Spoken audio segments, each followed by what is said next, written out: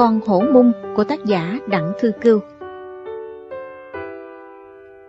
Con hổ mung Ông trì gầm, ngồi yên lặng như một gốc cây cổ thụ, đăm đăm nhìn mặt trời đỏ sậm màu máu. Hạ chậm chậm xuống mặt đầm lầy mù mù chứng khí. Những tia nắng cuối cùng sáng rực, lấp lánh, như nhiều mũi giáo nung và lửa ở trong lọt đâm xuyên qua làn sương trắng.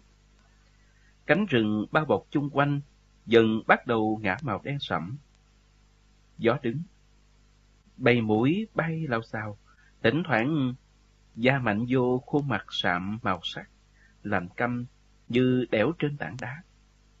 Tiếng loài thú nhè, sột soạt ở trong lùm bụi phía rừng chồi. Tiếng cá sấu thở cạnh bờ sông nghe như tiếng rên trầm trầm.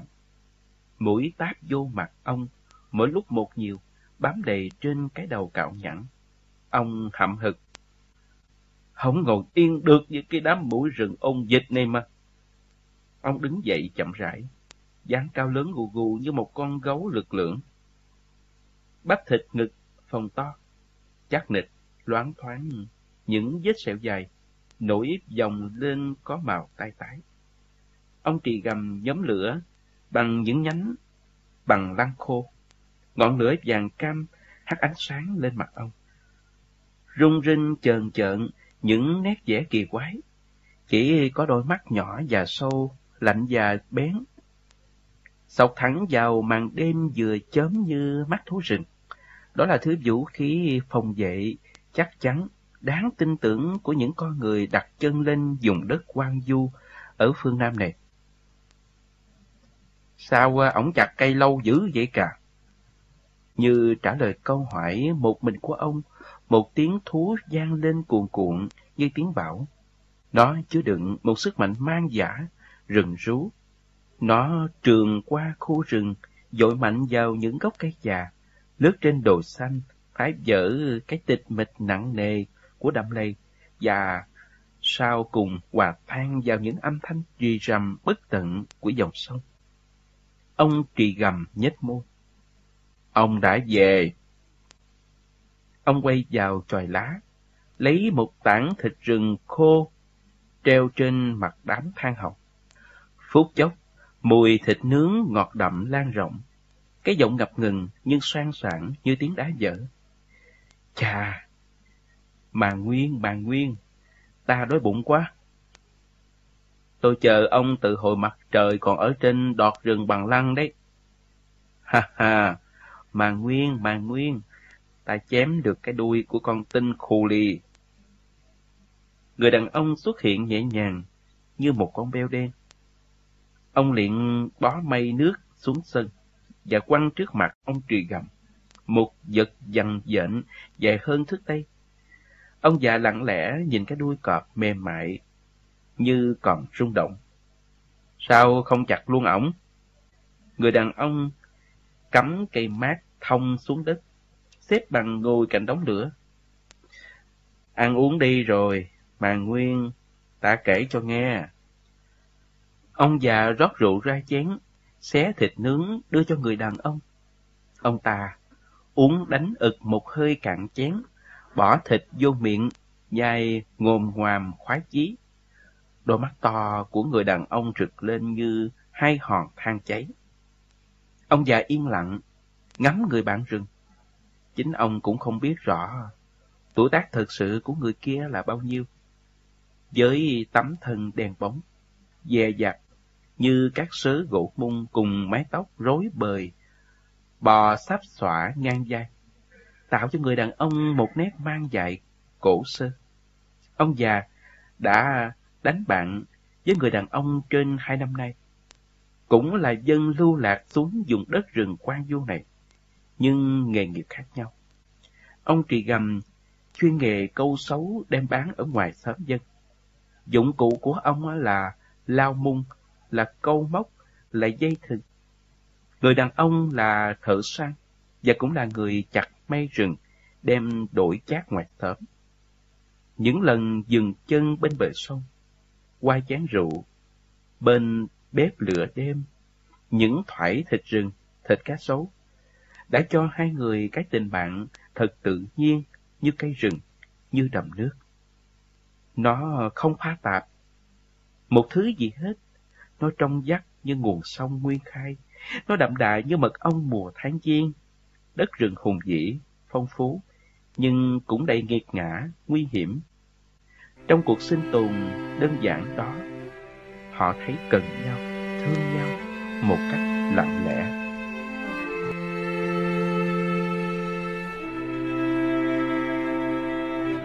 Bằng cái giọng ngập ngừng, phải lót thêm tiếng đệm vô nghĩa nhưng quen thuộc. Người đàn ông kể cho ông già việc ông chặt đứt đuôi cọp mà ông gọi là tinh thu ly. Khi vô tới khu vực có mây nước mù, thì trời đã xế. Người đàn ông ăn gói cơm nắm xong, tính đốn mây rồi về sớm, vì đã hẹn với ông già uống rượu đêm nay. Ông lần vô cụm mây già đủ tuổi, thì một con hổ vằn chặn đường. Có lẽ nó quá đói vì không tìm được mồi chứ bình thường á, ít khi nó dám tấn công ông một cách trực diện như vậy. Con hổ gầm gừ, quật đuôi liên tục, và ứa bọt miệng trắng xóa. Người đàn ông bực tức, dơ cao ngọn mắt thông. Bà Nguyên, bà Nguyên, ta chém chết bây giờ. Con hổ bươn tới chậm chậm, vì cái đối cồn cào nơi bụng. Bất ngờ, nó đập mạnh đuôi về phía trái. Theo kinh nghiệm, người đàn ông hiểu con giả thú sẽ tấn công bên tay mặt. Ông tràn ngang, và ngọn mát thông sắc bén trên tay, dớt ngược, dọc theo sườn con thú. Sức mạnh ghê gớm của người thợ rừng đã chém ngọt một phần đuôi con hổ giặc. Và thuận đà dẹp thêm mấy cây mây gai gốc. Con hổ học lên một tiếng kinh hoàng. Dục vào bụi, lê theo mấy vết máu đỏ thẳm Ông trì gầm rót thêm rượu. Thật là may cho lão, tôi tin rằng ông sẽ chém đứt hông lão chỉ với một nhát thôi. Người đàn ông cười sằng sặc. Màng nguyên, màng nguyên, ta cũng ờ, không muốn chặt lão chút nào hết, miễn là lão đừng có động chạm tới ta thôi. Tảng thịt rừng còn trơ lại khúc xương bị gặm giam nhở. Ông già luyện thêm nhánh khô, bếp lửa bùng cháy, gió đêm bắt đầu hú ầm ào, bay múa rừng chốn biệt. Thật ra tiếng hổ gầm no mồi như út ngạn, đột ngột, hai người thở rừng im bặt, nghiêng đầu nghe ngóng. Mắt quát lên, rực lửa. Người đàn ông đứng dậy, ngó ra bờ sông, tấm thân cuồn cuộn bắp thịt sưng sững, hát lên trong bóng lửa chập chờn như một hình thần linh. Giữa cái âm thanh rì rầm như than thở của dòng sông, họ nghe rõ tiếng mái chèo rẽ nước. Ai dám vào tận cùng ngọn rạch sâu thẳm giờ này? Tiếng động của chiếc ghe mỗi lúc một gần. Tiếng người nói chuyện thì thầm. Ông già bật dậy, lao ra bờ sông. Ai? Trăng lùi lủi, chui vào cụm mây mù. Gốc rừng tối sầm lại, như vừa có một cơn bão đen lướt qua thật chậm chạp. Bếp lửa chỉ còn những dụng than học. Ông già không nhóm thêm để lắng nghe người khách lạ kể chuyện. Cả ba ngồi quanh bếp than. Dụng than nổ lép bếp, dục sáng bừng. Rọi lấp lánh lên mớ rau muối tiêu phất phơ dưới cầm của người khách lạ. Ông nâng chén rượu của bạn rừng mới, uống một hớp. Tôi và chiếc ghe này đi lang bạc giang hồ. Rất nhiều ờ, khu rừng phương Nam đã ờ, có dấu chân tôi. Tôi là dân à, ăn ông ờ, các bác à. Các bác có nghe chứ? Ông trì gầm và người thợ rừng nói lắp im lặng gật đầu. Ngày này không đụng chạm tới ai. Ông của rừng, chỉ tội là phải lặn lội vất vả. Nhiều khi dân rừng không hiểu, hay nghi ngờ làm khó dễ. ông nhiều lắm. ông là vị ngọt, là hương thơm của rừng. Mật không của riêng ai. Ông thì gầm vết môi. Ờ, à, tôi nghe người ta nói mật là của thần rừng mà. Người khách lạ ngước mặt lên nhìn sâu vào thăm thẳm bóng đêm, đang vàng quạch phía rừng già. Dạ, bác đã nghe nói đến thần rừng là bác biết nghề của chúng tôi rồi. Nó như một lời nguyện truyền kiếp, phải cung tế, phải giàn giái. Nhiều ờ, dân à, ăn ông bó qua tập tục này. Không tin tưởng thì suốt mấy tháng liền không ờ, kiếm được ờ, một giọt mật. Rồi là ốm đau liên miên, vốn liếng cạn sạch, thân sơ thất sợ. Ghê gớm vậy đó bác. Người thợ rừng nói lắp nãy giờ câm lặng như đêm. Chợt lên tiếng. Bạn ở mạng mà nguyên, mạng nguyên mà cúng bằng gì? Người khách chưa kịp hiểu câu nói của người thợ rừng. Lát sau, ông mới nghĩ ra, nói vui vẻ. Có gì cung nấy bác à. Cái cần là do lòng thành của mình, lời hứa của mình. Khi thì heo quay, thủ dĩ luộc, cũng ờ, có khi là... Người khách chợt cắt ngang câu nói. Âm thanh rơi hẳn vào màn đêm mất hút. Người khách quay đầu ngó xuống bờ sông. Ông trì gầm chợt nhớ ra. Lúc ra đón chiếc ghe, ông nhát thấy dáng một người thật nhỏ nhắn, lúi húi trong mui bằng lá chạp. Người khách quay lại. Nhiều khi á, cũng cả con cái mình nữa. Ông già ngạc nhiên. Ông, ông nói thiệt hay nói giỡn? Rừng linh thiêng lắm, không nói chơi được. Nhiều khu rừng á, quá nặng ám lực quyền bí. Cúng vật chết ờ, không làm ăn được ờ, phải tế bằng vật sống. Ơ, ơ rồi, cái người bị cúng đó ra làm sao? Cũng về với gia đình thôi. Chưa thấy thần rừng nào mà nhận hết á. Nhưng mà không có lời gian giái thành thật thì không làm ăn được đâu ạ. À. Đêm đã khuya, trăng khuất dưới tán rừng đen kịch. Tiếng thú kiếm ăn cũng vắng bặt. Chỉ có đám côn trùng rì rì suốt đêm. Người khách từ giả hai người thợ rừng để xuống ghe. Tôi ờ, còn ở đây. Mình còn nhiều dịp để tâm sự. Nếu à, thần rừng ở đây cho phép thì tôi xin ít mật của rừng. Ông trì gầm đứng lên, dúi vào tay người khách, thoải thịt rừng phơi khô và một nắm muối. Người khách nhìn ông, lòng cảm tạ ngập ngời trong ánh mắt. Ông trì gầm trở vô chòi. Người thợ rừng nói lắp, đã nằm yên trên sàn lót bằng những thân gỗ tròn, bóc vỏ. Ông trì gầm, nhồi thuốc vào cái vố bằng gốc tre, bước ra ngoài chăm hút. Và đứng tựa ngó mông lung về dải rừng xa hung hút. Mảnh đất quan du này còn chứa biết bao nhiêu điều mà ông không thể hiểu hết. Đời người quá ngắn ngủi trước bí mật của thiên nhiên. Với ông thì, ông có thể tự hào về sự am hiểu các bãi cạn, các vực xoáy, những con lạch đầy bùn dẫn vô đầm lầy chỗ nghỉ ngơi của bầy cá sấu. Đánh bạn với người thợ rừng nói lắp. Ông biết thêm về cây mây đầy gai, những con trùng làm ổ trong bụi già là, hay những cái trứng rắn hổ mây to lớn. Bây giờ nói chuyện với người khách lạ ăn ông. Ông hiểu rừng chỉ mới ban phát cho ông một vài vấn đề thông thường còn nhiều cái chất chứa ngập trong lòng khối đen thẳm trước mặt. Trong muôn ngàn âm thanh kỳ quái của rừng đêm, nhất là thần rừng, cái bí lực quyền hoạt đó có thật không? Có tham dự thật sự vào những đời sống đơn giản của những người thợ rừng hay không? Ông trì gầm, nghe giữa ngực, có một cái gì đó nặng như treo lên một khúc gỗ mung. Ông đằng hắn một tiếng lớn, khạc mấy sợi thuốc dứng trong cổ họng. Đêm lạnh căm, đầy đe dọa.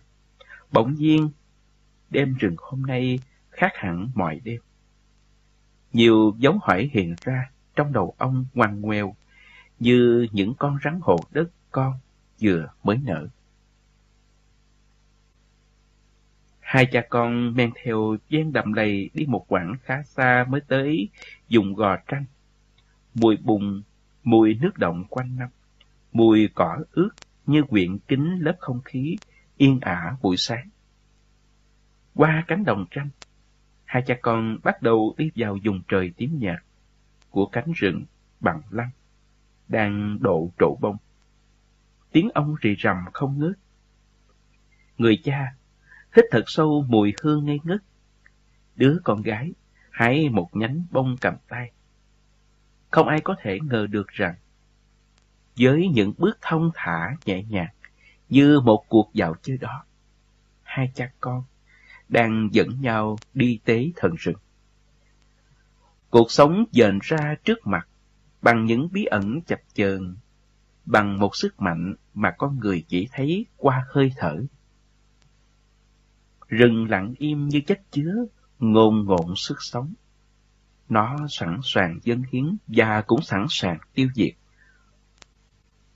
Qua rừng bằng lăng, mặt đất độ dốc, nghiêng xuống một dải rừng tràm mịt mùng, không nhìn thấy giới hạn. Mùi bông sực nứt trong gió và tiếng ong rộn rã, một giai điệu bất tận. Người cha ngó đăm đăm vào rừng tràm, mường tượng, nhìn thấy một dòng mực màu hổ phách trong suốt, đặc quánh, chảy trong đó. Người cha nói với đứa con gái. Hãy thành tâm cầu nguyện với thần rừng, cho cha con mình may mắn trong à, chuyến làm ăn này đi con. Đứa con gái ngước mắt nhìn dải rừng có màu sáng xanh, yên bình. Nắng động thấp thoáng trên tán lá, những vệt màu hồng tươi. Cô ngửi thấy mùi hương bông, mùi mật đến mùa. Người cha đứng bên cạnh, nói lớn. Xin thần rừng, cho phép cha con tôi được ăn ong trong khu rừng này tròn một vòng trăng. Tôi hứa sẽ không phá hoại của cải của rừng.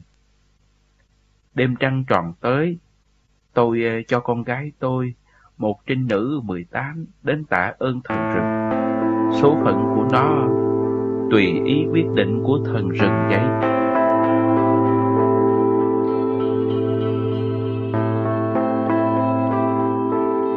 Tiếng nói chậm rãi, gọn gàng từng âm một, như luyện vào rừng yên ả, những hòn sỏi của số mệnh. Hốt nhiên, người con gái rùng mình. Cô cảm thấy có một nỗi bức rất kỳ lạ, chạy rần rật ở trong máu. Cô nắm lấy tay người cha. Ba, con, con thấy sợ. con yên lòng, mình chỉ dâng phần tinh thần cho rừng. Rừng không bắt con đâu. Như ờ, những lần trước thôi mà. Nhưng mà đêm qua con chim bao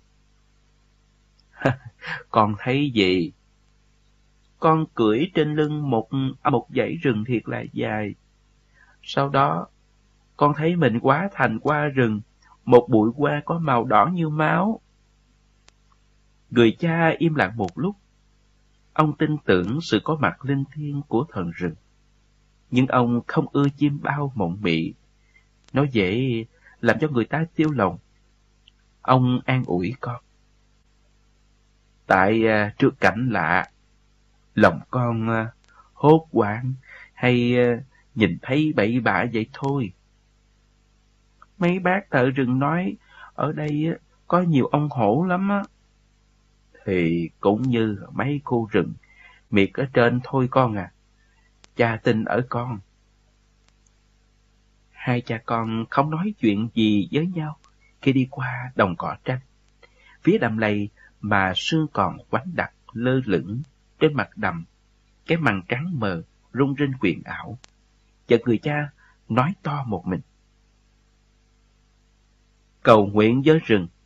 Lần này làm ăn khám khá, có một số vốn, cha con tôi sẽ định cư ở ngoài bờ sông, không vào rừng nữa. Bất ngờ, một tiếng hổ gầm gian lên, thật gần phía rừng, bằng lăng như trả lời người cha. Âm thanh dội mạnh, kéo dài ra thành tiếng rền u u, rồi lắng tan. Đứa con gái siết chặt bàn tay người cha. Ánh mắt trong sáng của cô vừa lướt qua một bóng mây hải hùng.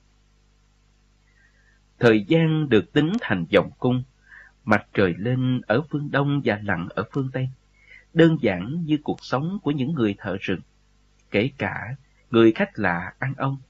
Mỗi người một việc, họ không làm phiền nhau cũng như ít khi giúp đỡ lẫn nhau. Ông trì gầm thì mãi mê với những con lạch đầy mũi dẫn vô đầm này và tiếng xấu thở trầm trầm. Người thợ rừng nói lắp thì gắn bó với rừng mây đầy gai nhọn.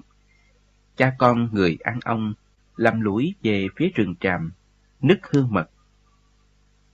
Không biết do lời cầu nguyện đã đến tay thần rừng, hay do nguồn mật dồi dào của cánh rừng quan giả, mà những lưu hủ của ông ta đã đầy ấm áp.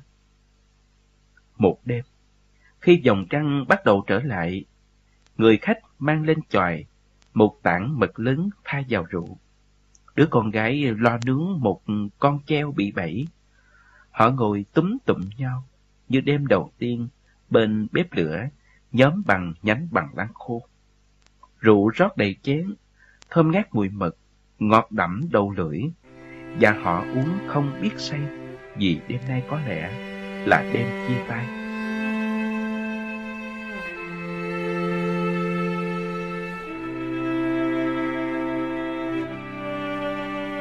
Ông trì gầm dẫn với cái nhìn lạnh căm như dọc nước đêm.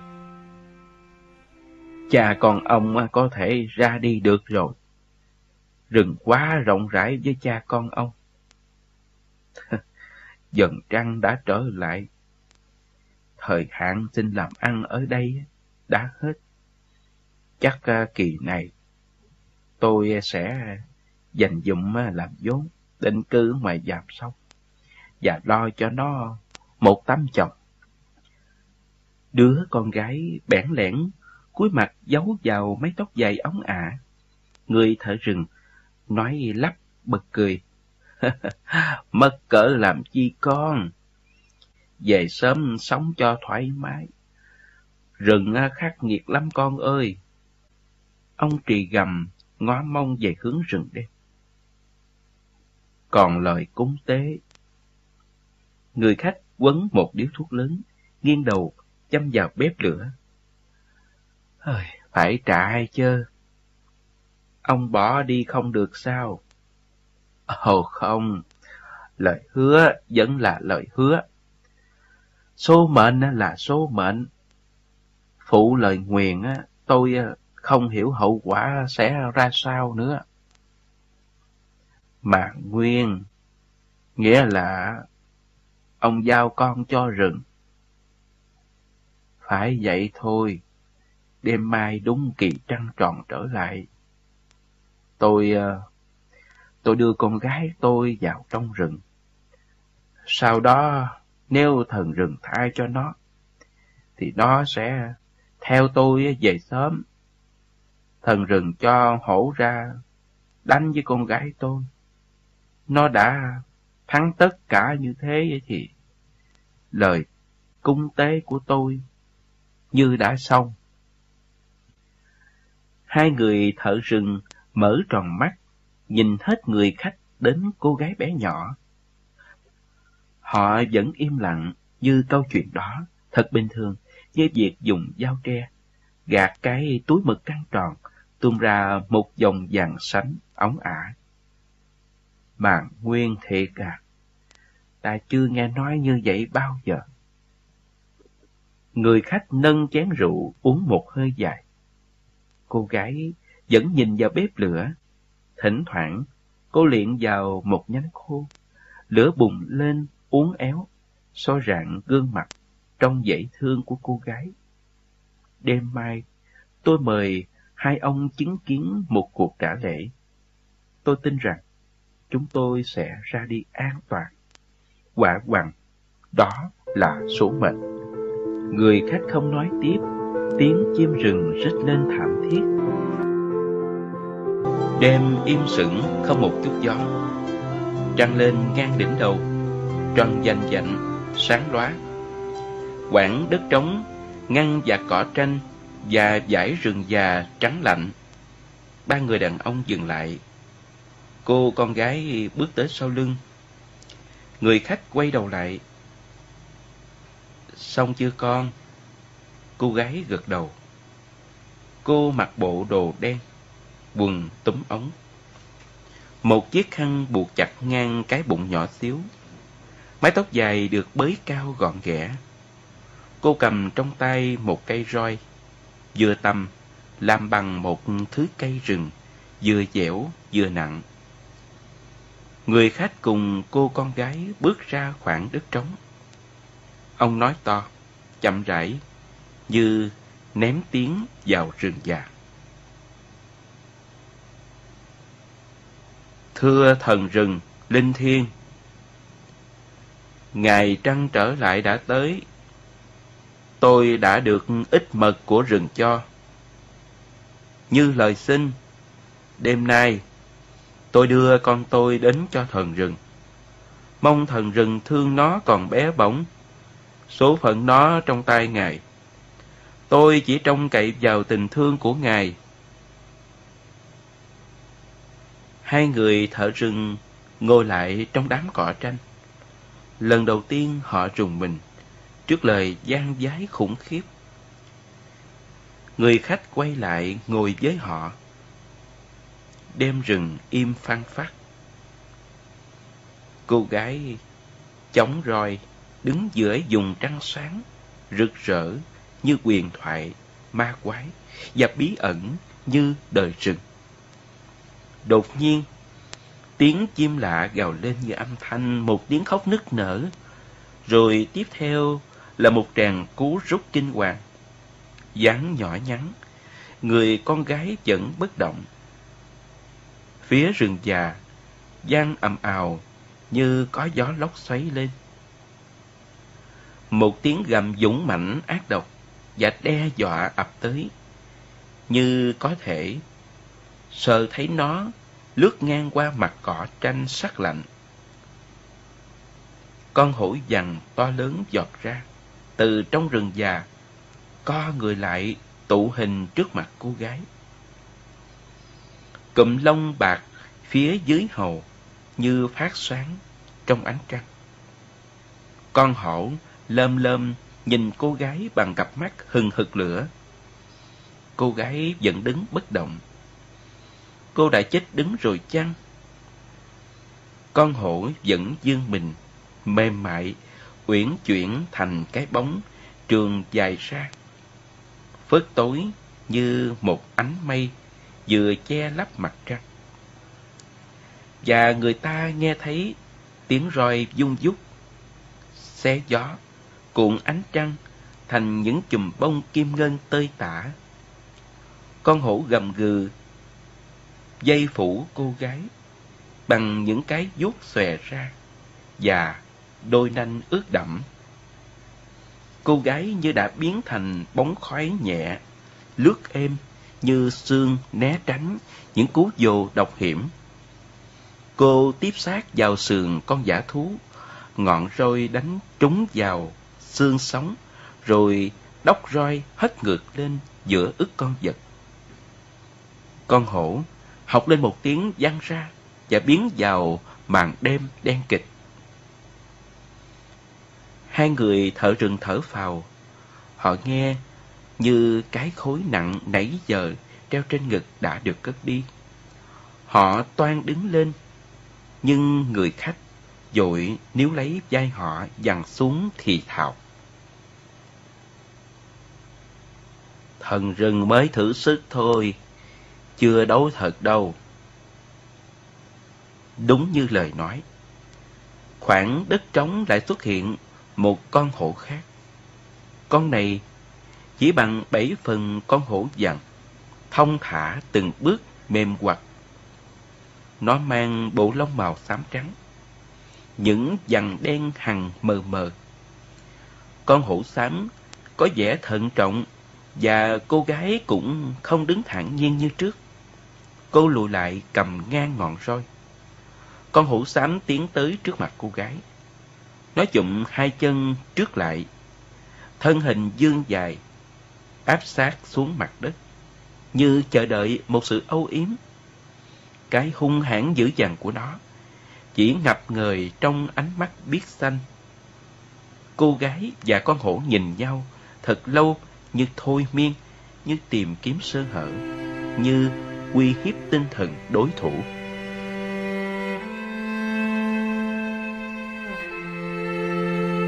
Một đám mây phất qua ánh trăng, con hổ hực một tiếng nhỏ như sắt rồi chồm tới. Một chân nhắm vào bả vai, một chân nhắm vào cổ họng và cái miệng rộng ghê gớm, sẵn sàng bẻ gãy những đốt xương cổ của con mồi. Cái phóng mình của nó thật khích khao và lẹ như một tia chớp. Cô gái cuộn mình lăn tròn dưới ức con vật, lòn ra sau và dùng đầu roi đâm mạnh vào hạ bộ con vật. Ngón sát thủ trong đường tơ kẻ tóc. Con hổ xám bây giờ mới chịu gian lên tiếng gầm như là một âm thanh nghẹn đi của sự chiến bại. Nó rớt xuống đất và lết vào khu rừng già, thật hèn hạ. Người khách dậm mình muốn đứng lên. Ông nghĩ, thần rừng đã thử sức với cái vật tế nhỏ nhoi đó. Nhưng thần rừng như đang giận dữ vì tài năng cô gái mỏng manh kia. Rừng không tha thứ. Con hổ thứ ba tiến ra. Đó là một con hổ mung nhỏ nhắn, hiền hậu, nhút nhát và non nớt. Nếu như nhìn thoáng qua dốc dáng bên ngoài của nó, nó không thị quy bằng tiếng gầm giận dữ, bằng cái dáng điệu sẵn sàng uống máu con mồi. Con hổ mung tiến ra khoảng đất trống, rụt rè nhìn cô gái như một con vật nhỏ ngoan ngoãn. Nó đi vòng vòng chung quanh với những bước chân mềm mại, uyển chuyển. Cô gái chống cây roi, tấn công vững chãi, nhưng không quay đầu theo con hổ mung, vì cô thừa hiểu đó là một cách phân tán sức lực của cô. Mồ hôi đậm ướt chân tóc, thần kinh cô căng thẳng dữ dội, vì cô đang đối đầu với một đối thủ hết sức nguy hiểm. Cô gái không theo dõi con hổ mung bằng ánh mắt, mà cô nghe ngóng bằng toàn thân, bằng xúc giác đang gợn lên trong làn da, bằng thính giác của một con người đứng bên bờ vực, lắng nghe tiếng gió hú từ đáy sâu của cái chết. Con hổ mung bình thản như một con vật đang vào chơi. Nó có vẻ như không chú ý tới cô gái. Trăng sụp nhanh xuống mí rừng. Khoảng đất dục tối. Con hổ mung lẹ làng tấn công từ phía sau lưng cô gái bằng cú dồ nhẹ nhàng, không tiếng động. Cô gái xoay người như đã nhìn thấy bằng đôi mắt ẩn sau phía tóc. Ngọn roi đâm vào ức con vật. Nó uống mình như một tay làm chiếc và rớt xuống bên phải cô gái, nặng không hơn chiếc lá rụng. Cuộc chiến đấu thầm lặng. Những người ngồi quanh chỉ nghe thấy hơi thở nặng nề của cô gái. Nắm tay người khách siết chặt một gốc cỏ tranh và nhổ bật nó khỏi mặt đất. Cô gái đã đuối sức vì qua nhiều lần chiến đấu cũng như cách dần mồi nguy hiểm của con hổ mung.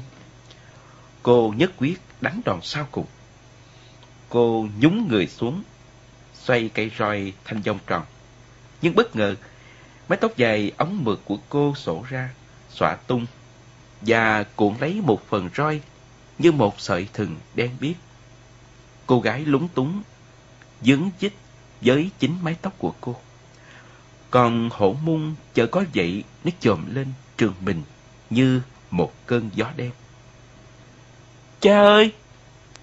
Tiếng con hổ mung gầm lên thanh và sắc. Tiếng gào chiến thắng của nó biến mất như chưa hề xuất hiện. Cô gái nằm sóng xoài trên mặt đất. Người khách trùng mình chấn động. Ông trì gầm đứng dục dậy.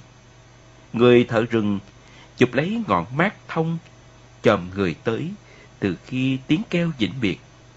Đau đớn của cô gái vang lên từ khi con hổ mung còn há họng rú lên kiêu hãnh và ác độc. Nhưng người khách ấn tay lên vai ông, lắc đầu. Không, phải giữ tròn lời hứa với thần rừng, số mệnh là số mệnh. Con ông đã phải chống chọi quá sức mà. Giọng người khách cố ngăn nỗi nghẹt ngào âm ấp trong cổ họng. Nó đã làm rạng danh. Nó đã hiên ngang chống chọi với mãnh lực của thần rừng. Hãy để nó ngủ yên. Với cái vinh quang của con nhà rừng và lời cúng tế. Số mệnh đã khép lại nơi mảnh đất xa lạ này. Người đàn ông đứng lên tiến ra khoảng đất trống. Ông trì gầm, thấy ông ta chợt già đi thêm mấy mươi năm. Nỗi đau đớn của người cha đang giật ngã ông từng bước. Rừng đã rộng rãi cho ông, nhưng cũng hết sức khắc nghiệt. Khi cố tình cướp khỏi đời ông đứa con gái thân yêu, ông quỳ xuống, nhỏ bé hơn bao giờ hết. Chiếc ghe của người khách ăn ông đã đi xa. Trên ghe chỉ còn một mình ông. Ông thật đơn côi và yếu đuối. Cô gái ở lại bên gốc rừng. Nắm đất nhỏ nhoi, cùng ngọn roi cắm đứng trước mộ như một tấm bia. Nhiều lần ông kỳ gầm ra đứng trước mộ cô gái. Rừng vẫn gian động những âm thanh trầm ngâm quan vắng. Rừng chất chứa nghìn trùng bí ẩn, vừa quyến rũ, vừa nghiệt ngã. Con người tới với rừng, bằng sức lực mỏng manh, bằng trí khôn và cuộc chiến đấu vẫn còn tiếp diễn. Rừng không từ chối, cũng không bao dung. Ông ngó ngôi mộ và tự hỏi, không biết có con hổ muôn thật không? Hay tất cả chỉ là một giấc chiêm bao?